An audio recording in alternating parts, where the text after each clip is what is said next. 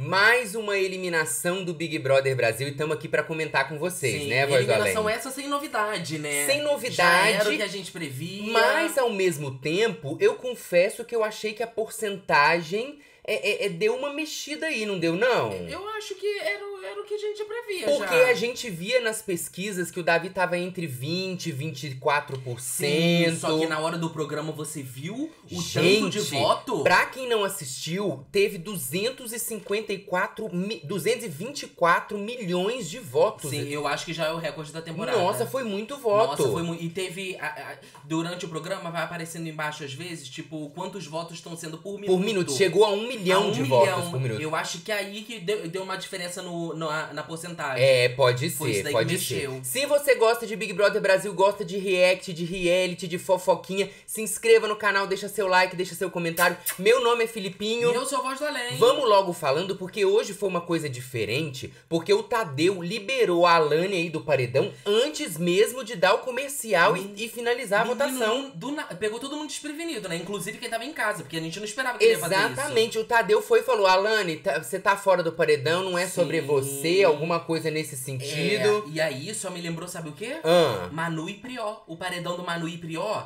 Você lembra que o, o, o Thiago Leifert liberou a. Mari Baianinha. A, Maia- a Mari Baianinha? É, é, é. Não eu- sei se ele fez pro, pro povo lá dentro próprio falar. Tipo, será que tem uma guerra lá fora? É porque Uma guerra de torcida. A Alane levou só 0,94%. Eu vi Uhum. que muita gente na internet não gostou é, dele ter liberado ela antes, né? Porque falou, ah, ela vai ficar se achando a favorita e tudo mais. Mas eu penso que se eu tivesse lá dentro e fosse liberado antes, e, e, e assistindo as edições do BBB, eu ia pensar assim, "Ih, Não, é.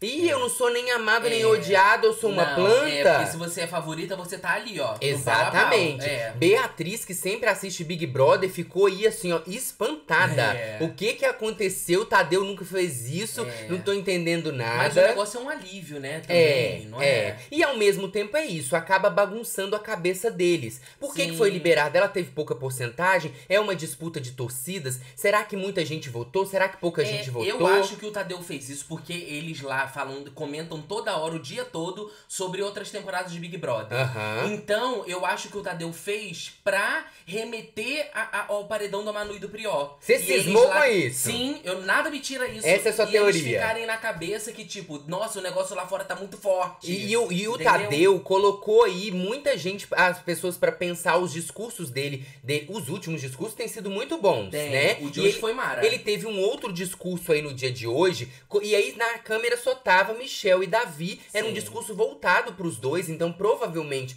não foi uma decisão que a direção tomou em cima da hora de Aham. liberar a Alane. Eles já deviam ter conversado isso há muito tempo, já que a porcentagem dela foi muito pequena. E aí o Tadeu faz o seguinte discurso: Quando eu terminar, seremos 13. No estudo da psicologia social, existe um conceito chamado avareza cognitiva.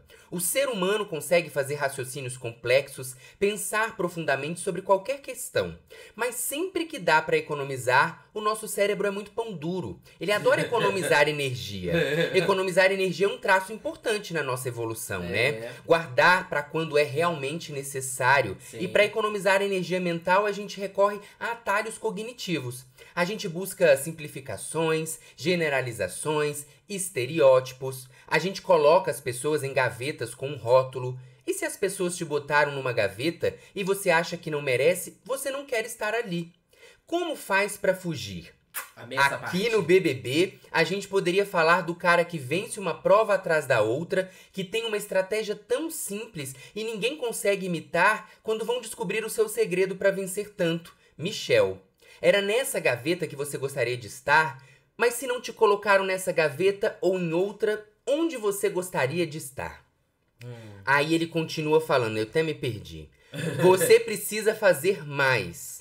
A gente poderia falar do cara que prepara as mesas de café da manhã mais lindas da história do BBB, que arruma a casa toda e corta o cabelo de todo mundo, mas se não te colocaram nessa gaveta ou em outra onde você gostaria de estar, você precisa fazer mais. A gente poderia falar desse baiano, talvez alguém chamasse de um cara comum da Bahia, mas que na verdade é extraordinário na sua luta, que trabalha muito desde, desde muito novo, que vende água no balde, na obra, que tá na pista rodando o dia inteiro, que é na frita, que frita hambúrguer e cozinha para ajudar na renda de casa, é guerreiro, é aguerrido. Mas isso não te coloca em gaveta nenhuma no BBB. Aí essa hora aí ele começou a ficar nervoso, né? É. A gente poderia falar desse mineiro que representa a luta de tanta gente. Também já foi motorista e também caixa de evento, operário de produção, cuidou de criança, foi animador de festa, estudante de veterinária e professor de geografia. E Lady Ellen ofegante É. nessa hora aí. Nunca foi chamado de professorzinho, mas pouca gente sabe o professorzão que você é. O trabalho lindo que você já fez, inclusive em presídios. Aí ele já, já terminou com a história do professor. É, né? Vocês lembram lá provavelmente. que o Bin supostamente Teria chamou chamado, É, é. Ele achou que o Bin tinha chamado ele de professorzinho, mas não chamou. Ma- Aí o, o O Tadeu, Tadeu confirmou, fala, né? é. Mas isso não te coloca em nenhuma gaveta no BBB. E é interessante porque o Tadeu, ele meio que amarra as histórias, as histórias das pessoas, dos dois, né? Histórias anteriores ao programa, pra dizer que isso não te coloca em nenhuma gaveta Sim. no BBB. Tipo, não adianta você ter vivido uma história X lá fora. Se nada aqui dentro você não aqui. fizer nada, É. né? E aí ele fala: "Pra alcançar a reputação que você quer no BBB, talvez seja preciso fazer mais e na direção certa. Isso vale pra todo mundo. Mas quem é capaz de fazer isso? Ajustar a rota no meio do voo? Lembre-se por que você entrou no BBB. Qual é o seu objetivo aí dentro? Você está se afastando do caminho certo ou está indo certinho para o destino que imaginou? Isso vale para todo mundo, repito. Se está na rota, acelera, vai com tudo. Se não está, ainda dá tempo de apontar para o, rumo certo. E é interessante quando o Tadeu fala isso, Ah. porque de alguma forma ele, ele mostra para as pessoas que acham que existe um jogo vencido para elas não desistirem. Sim, mas ao mesmo tempo aqui, eles já estão. Eu, eu tô acompanhando aqui o pay per view. Ah. E eles já estão comentando aqui, ó. A, a Isabelle mesmo tá falando que não é mais possível mudar o jeito de ser nessa altura do campeonato. Se você chegou até aqui desse jeito, é desse jeito que você vai ser. Então não entenderam, não Tadeu. mudar, não Tadeu, entenderam, viu? desculpa. Aí o Tadeu fala: se não está, ainda dá tempo de apontar para o rumo certo. Qual impressão você vai deixar aqui? Mais cedo ou mais tarde, essa sua reputação vai ser colocada em jogo. Para jogo. Para você que sai hoje, eu digo que, por você achar que está certo, porque você já teve sinais que indicavam que você estava certo, os acontecimentos podem parecer uma resposta para você. Já chegou a hora de saber a verdade definitiva. E hoje o resultado vai surpreender muita gente. E aí, gente, o final é muito bom. É, porque nessa hora aí eu comecei a duvidar, cara. É muito bom. Eu comecei a duvidar. Ele falou, e hoje, duvidar do que a gente esperava, né? Sim, que é o Michel é. que ia sair. E hoje o resultado vai surpreender muita gente. No fim do dia, uma frase vai prevalecer. Opção 1. Pequenos escritores podem escrever grandes histórias, que é a frase que o Davi fala. Opção ou opção 2. O fraco voltou, sou. Que foi uma vez que o Davi chamou o, o Michel de fraco e ele falou que se ele voltasse do paredão, ele, ia, falar essa isso. frase. Aí É. ele fala, o Tadeu fala, Davi pode se despedir do Michel. Michel, quem sai é você. E aí nessa hora, a casa toda, Clara, Nossa, fica Desaba. Fica Bota a cara de Lady Ellen. a cara da Le cara. Lady e Yasmin são as que ficaram mais assim chocadas, É, né? gato. Ali com o resultado. Você eu vê tô aqui no pay-per-view aguardando Lady Ellen jogar as coisas na piscina. Pois é, a Lady e prometeu. Yasmin. Yasmin ficaram falando, a Lady falou, prometeu. Yasmin concordou. Sim. Festival da Tô Promessa será? Tá, Lady? Ó, o Davi ficou com 28,73% e o Michel com 70,33%. Aí a gente tem as duas. A Laura foram mais de 224 milhões de votos. Você Sim. vê que as duas ficam paradas assim durante um tempo. Mas não foi só as duas que ficaram chocadas, não, tá? Eu É, vi muita uma gente, cara de né? choque da Isabelle. Aham. Vi uma cara de choque do Matheus também. É, e a Fernanda ficou muito chocada quando dispensou a Lani. Você viu na cara dela que, tipo, quando o É. Tadeu começa o discurso, ela tá engolindo assim, É, preocupada é, é o próprio meme da Nazaré, com. Fazendo É, conta. exatamente. Foi. E aí o Michel despediu de todo mundo, agradeceu todo mundo ali pela presença, por estarem junto com ele construindo essa história. Falou que não se arrepende de nada do que ele fez. E então Davi comemorou, a, a, a Alane também comemorou. Depois os dois pularam juntos, se abraçaram, comemoraram muito. E esse aqui foi o resultado que tá lá no site do G-Show, da média ponderada. Dessa edição que tem aí o voto único, que é por CPF, e o voto da torcida. E eu acho engraçado porque não tem, tem, tido, não tem tido uma discrepância entre o voto da torcida e o voto único, né? Sim. Se você olha, olha ali, a média da Alane de voto único 1,47, voto da torcida 0,47. Sim. Davi 28, 28, Michel 69, 71. Só mostra que foi uma boa, né, eles fazerem esse tipo de votação a partir desse ano. É, né? porque de alguma forma, né, muito se comenta sobre votações anteriores, a compra de robô, de lan Sim. house pra votar e tudo mais. Então, de alguma forma, foi por isso que eles colocaram essa média aí Sim. entre o voto único e o voto da torcida, É, né? Nesse momento lá dentro da casa ainda estão repercutindo um pouquinho sobre o discurso do Tadeu e a. Fernanda tá falando que ela sentiu que uma parte foi um esporro. E que ele falou como se, tipo assim, tivesse falando: Olha, eu vou falar pra todo mundo de novo que eu já falei antes. Ah, Sabe? e- E... o Davi tá tentando entender, ele tá dizendo aqui que ele tá bugado e que ele até agora não entendeu muito bem o discurso O do discurso, Tadeu. né? Ele falou É. que ele ficou preparado pra pegar a mala dele. O Sim. Davi, que ele não. Ele comemorou a volta dele, mas eu acho que ele não comemorou tanto porque justamente ele tá tentando entender. Tá tentando. Ele perguntou a Alane o que, que ele quis dizer, a Beatriz. Sim. E aqui, ó, inclusive tá acontecendo lá agora também que a Giovana acha que o paredão do Michel contra o Davi foi tipo Manu e Prior, que é o que Tá você falou. vendo? Cara, fui cirúrgico aqui. Fui cirúrgico aqui. Ai, Fui, ai. cara, eu nunca fui tão Ai, cirúrgico. estão lá achando que foi Vamos isso, gente. Ó, Eu, hein? vamos às outras pessoas aqui, porque a Yasmin tava conversando com o Lucas Henrique assim que acabou a- o paredão também, e com a Lady, e falou: Eu acho que o Davi é um dos favoritos. Hum. Aí o Lucas falou: Eu também acho. Desde quando o paredão do Marcos, o Marcos saiu, a Lady eu também acho. Então já estão aí com essa, essa possibilidade, é, Sim. pensando sobre isso, né? Yasmin aqui tem uma fala dela, ó. Muita, muita coisa que você não imagina depende da edição. Muita coisa depende de como a história é contada. Não adianta isso que ele tá falando. Ou seja, ela tá duvidando um pouco de como as coisas estão aqui fora, né? Aham. A, a Fernanda falou o seguinte, ó. Ela falou que entendeu o discurso do Tadeu como colocar as pessoas em gavetas, né? E aí ela foi- falou que ela deu o exemplo do Davi. Ela falou assim: a maioria da casa coloca o Davi na gaveta do problemático e o público não colocou ele nessa gaveta. Então as pessoas já estão comentando sobre o discurso e tentando, talvez. Será que vai ter recálculo de rota? Vai ter O recalque que que vocês acham, gente? Coloquem aí nos comentários. Amor, disse que ia jogar, ia fazer, ia não sei o que ia acontecer na piscina, jogar a mala na piscina. É. Se não jogou, meu amor, isso já é recalcular a rota. É, é Vai verdade. prestando é atenção. verdade. Falando em, em, Ah. em Lady, ela tá aqui conversando com a, com a Yasmin lá fora. E quem, quem é essa pessoa? Buda. Buda aqui, ela tá falando que adora Cunhã, mas, quer, mas, mas ele quer chamar de. Hã?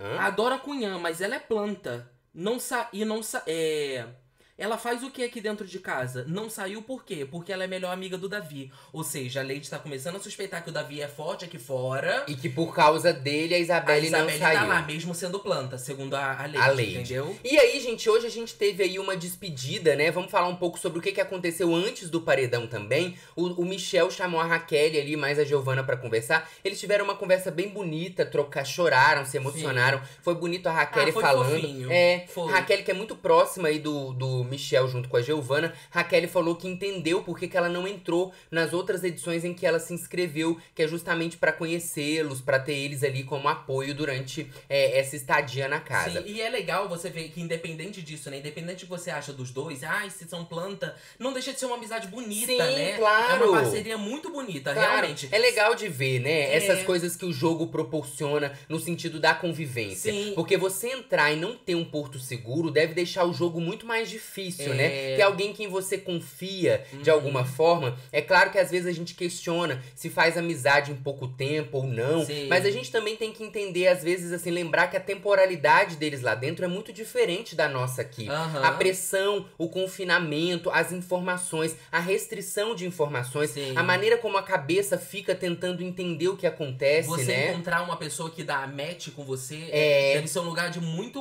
muito Conforto, é, né? um porto seguro mesmo, É né? verdade. E eu, e eu tenho a impressão de que vai ser uma amizade que vai durar. Você acha? Sabe? Essas amizades de terceiro ano, que fica pra Ai, vida inteira, se for sabe? terceiro ano, então não dura, porque a minha, olha, é contar nos dedos aqui da mão quem é que eu conheço Ah, ainda. eu tenho, eu tenho. Ó, a Isabelle e a Beatriz conversaram aí na parte da tarde também. Se você não viu, a gente lançou um vídeo mais cedo, um vídeo anterior contando coisas que aconteceram durante o dia da terça-feira antes do paredão. Então a gente vai comentar algumas coisas que a gente ainda não tinha comentado, tá? Isabelle e Beatriz conversaram, a palavra inútil veio de novo na conversa. Poxa. A Isabelle falou que pra ela é uma palavra muito forte, que é quase um xingamento nesse caso. A Beatriz falou que ela também não usaria essa palavra, mas ela ao mesmo tempo fala o seguinte: ela diz que ela entende de alguma forma que por ter sido o Davi que falou, ficou muito mais pesado porque já tem a relação das pessoas com o Davi. Aham. Então a Beatriz pontua isso. E ela ainda lembra sobre a questão dessa palavra ter sido colocada no Sincerão.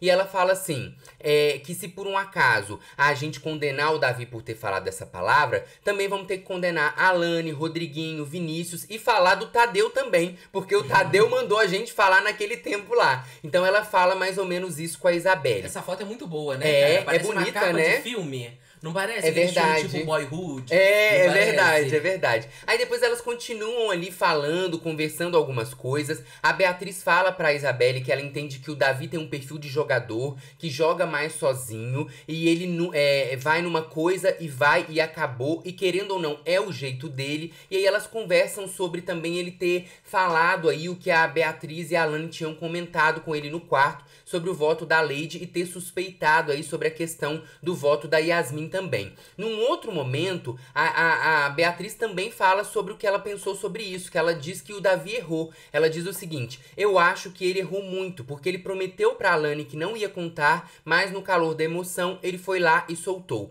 Eu vou ter que pedir desculpas pra Lady por ter contado o voto dela pro Davi, mas não sei se ela vai querer falar. E isso vai acontecer antes do programa começar. A Beatriz vai pedir desculpa pra Lady e a gente já chega lá. Teve um outro momento aí também que foi que foi muito repercutido na internet, que foi o seguinte. Hum. A, a, a- tava no quarto aí do líder o Lucas, a Yasmin e a Lady. E eles estavam tentando pensar em nomes pro grupo deles. Pensando, ai, Gnome é forte, dá medo, fada a gente já entende o que que é, qual é o nome que a gente poderia dar. E aí começam a surgir vários nomes, Sim. até que a Lady fala, olha, poderia ser trilogia. Aí a, a, a Yasmin fala, trilogia dá medo, será? Aí ela pergunta pro Lucas, o que que te dá medo? O que te impõe respeito? Aí o Lucas vai e fala assim, Camila. Camila, que é o nome da ex-esposa dele, que pra ele ainda é atual. Aí a Yasmin ainda brinca assim, não, Camila, não tem grupo pra chamar de Camila. Meu Lucas que não tá sabendo o que que tá acontecendo. Lucas, Inclusive- eu acho melhor você já encomendar sua saída pra semana que vem. tá? Falou aí também durante a parte da tarde o seguinte: eu não queria que a Camila, que é a ex-esposa dele, ficasse 100% ali nas redes sociais, nas redes dele. Porque pra ela deve ser duramente difícil, porque é o marido. A função de administrar o bagulho do marido dela, de ter que lidar com os comentários escrotos. Mal sabe ele que a ex- a ex-esposa dele tem mais de 1, não sei quantos milhões Tá de mais, seguidores. tá mais estourada do que a Deolane. É, é verdade, vou te contar. E aí teve um outro momento também, durante a, a parte da é, ali de fora, quando eles estavam conversando, foi até no, no mesmo momento em que a Lady fala que vai jogar as roupas do Davi e a Yasmin concorda, em que eles estão falando e a Lady comenta sobre a Alane ter medo do cancelamento, justamente por a Alane ser uma pessoa que de alguma forma já tinha um reconhecimento aqui fora, por ser conhecida no seu estado, pelo concurso de beleza que ela ganhou. E aí ela fala assim, como ela diz, pipoca gourmet. E aí a Lady completa, eu não, eu sou só o milho. E aí a Raquel fala: Eu não sou nem a pipoca, eu não fui nem colhida. E eu achei engraçado porque, assim, ao mesmo tempo que ela fala que ela não foi nem colhida, é como se ela falou: Ô, Lei, ô, ô, ô, Raquel, tu tá dizendo que tu é planta, né? Sim. É praticamente É, isso. E a Lady também, né? A Lady que também. em vários momentos aí, ela. É, Eu não sei Mas se a ela- Lady, a ela Lady- fala que ela é planta. Sim, e é- Direto ela fala: Vou lhe dormir meu sono de planta. Sim, só que a, a, a Raquel, ela se zoa. A Lady parece que não. Parece que a Lady, ela tem uma consciência Ela tem, pura ela tem. de que ela é planta. Eu acho entendeu? que ela tem consciência. Ela e não tem. é à toa que ela fica tentando cavar a história Caçar o tempo enredo, todo. é, Porque ela não, sabe que é, é, o negócio não tá eu legal. falo isso aqui, ó, já tem, ó. E a. Beatriz, como eu disse, antes do programa começar, foi até a Lady pra poder pedir desculpas. E disse o seguinte: Lady, eu vou aproveitar aqui e te pedir desculpas sobre ontem. Aí a Lady fala: tá, já foi. Se for falar a mesma coisa de ontem, nem precisa.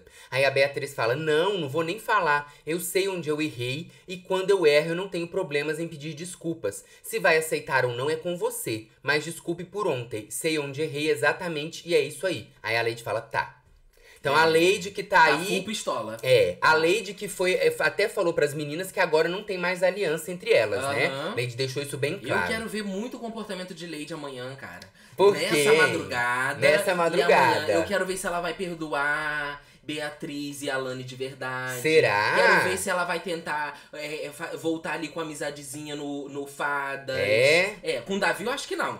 Mas ali no Fadas, com a Bia, com a Alane, que Será? a amizade tá meio estremecida, quero ver o que ela vai fazer. Hoje no programa a gente teve aí é, alguns VTs, vamos só passar por eles pra quem não assistiu o programa. Teve um VT contando sobre os grupos. Era uma vez no Big Brother. E aí separando o, o- o grupo Fada, aí ali de alguma forma o grupo também Alphaville ou Alfavela, né, que eles se chamam, que tá aí procurando um nome. Aí a você vai se perguntar o que, que Vanessa Camargo tá fazendo aí. A Vanessa Camargo ainda tá aí. Aliás, a Vanessa Camargo apareceu muito hoje na edição. Hoje ela foi a protagonista da edição, Vamos falar sobre isso daqui a pouco também em outros VTs. E aí também tem o grupo do Gnomo. E você vê que lá no fundo tem aqui, ó, o puxadinho. Gnomo, tem Bin e do outro lado tem Isabelle, como se eles estivessem afastados dos grupos, Sim. né? Que a gente sabe que são pessoas que jogam sozinha, ah, sozinhas. Aliás, o Bin fala que talvez ele seja o único jogador da história do Big Brother que jogou sozinho. Nossa, fazendo. Ele eu acha. acho que é do Big Brother mundial. É cara. do Big Brother Nenhum mundial. país teve quem jogou sozinho.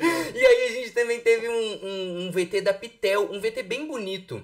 Foi. Que são aqueles VTs que eles sempre bonito. escolhem um personagem aí da história pra poder meio que contar a história na casa e fazer relação com a história aqui fora. Sim. E aí, é, te- permita que eu não fale não as minhas cicatrizes, que é aquela música muito bonita, aliás, Sim. né? E aí é, é, vai contando um pouco da história da Pitel. É bem, foi bem bonito Sim, o e VT. só reforçou o que eu sempre acreditei, cara. Ah. A Pitel é uma personagem maravilhosa que não foi desenvolvida. Por ela mesma. Por ela mesma. Ah, tá. Ah, tá. Meu amor, Por como ela que eu mesma. queria ver Pitel florescendo nesse jogo? Desde o início, quem Uai, acompanha cê- a gente aqui Uai, sabe. então você pode torcer muito pra Fazenda, porque nesse jogo aqui não tem Será jeito. que ela vai? Não, não Você vai. acha não. que ela iria? Não, eu acho que não. Que- não, eu acho que na Fazenda. Colo... Gente, vou- quem... já jogo aí.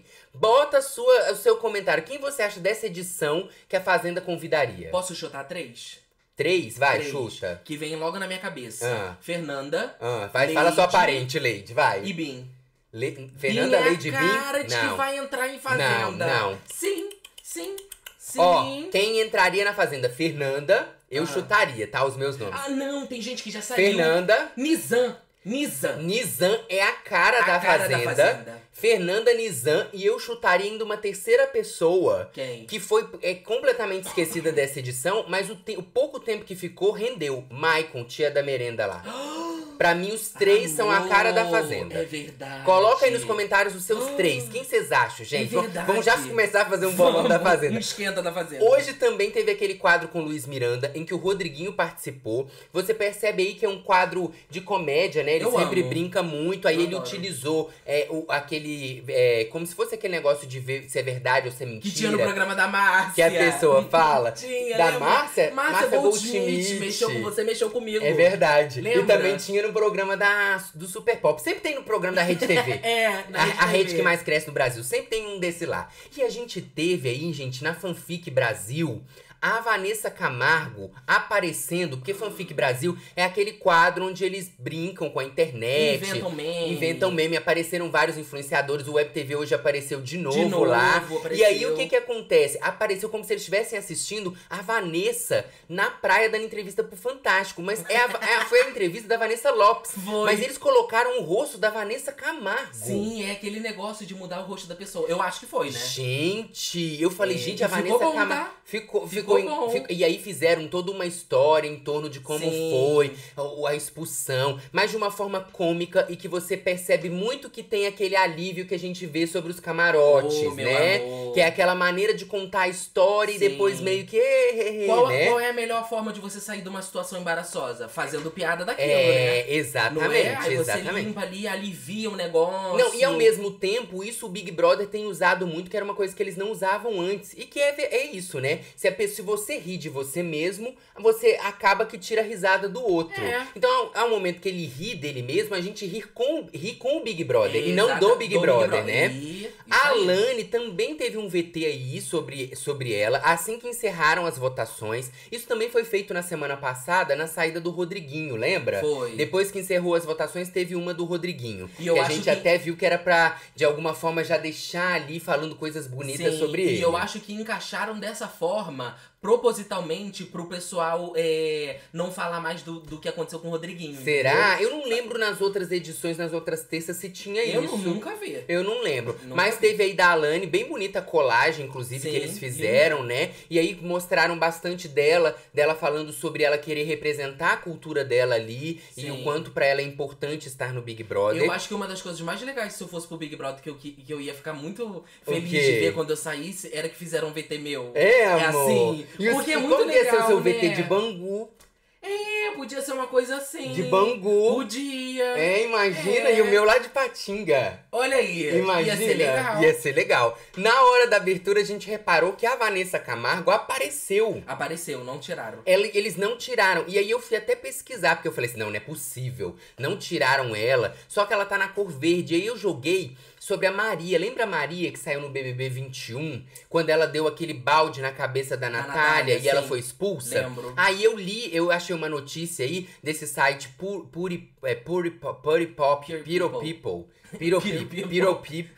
Puri People. Pure People. E, aí, gente, meu inglês é péssimo, tá? Vocês já viram? Pure people. E aí eles falaram aí, ó, BBB 22, Maria expulsa do programa, ainda aparece na vinheta, mas com coloração verde. Então a Esse Maria... verde aí é como se a pessoa tivesse sido eliminada. É, É. então, não, então, eliminada não, expulsa. Porque Ah. os outros não aparecem verde. Aparece sim. Agora aparece. Quando a pessoa é eliminada, fica verde e roxo, verde roxo. Ah, é? Fica, fica piscando. Enfim, então a Vanessa Camargo aparece aí, mas parece que não foi a única privilegiada nesse sentido. Porque Não na hora foi. que eu vi, eu já falei, ah, eles não tiraram. Já tava. "É, Vou ligar pra Vou Globo. ligar pra Globo. Aí eu pesquisei, tá vendo, gente? É só pesquisar um pouquinho que a gente É. acha. Vamos acompanhar o que, que vai acontecer nessa madrugada. Vamos. As pessoas aí comentando. Pelo jeito, a Lady não vai pegar mala Eu mesmo. acho que a Lady só não vai jogar a mala na piscina porque tá chovendo lá. Ah, só por Eu isso. acho que é por causa disso. Ah, só por isso. Tá bom. E aí a gente vai acompanhando pra falar com vocês e voltamos o que, Voz do a Além? qualquer momento, né? Um beijo, obrigado pela companhia.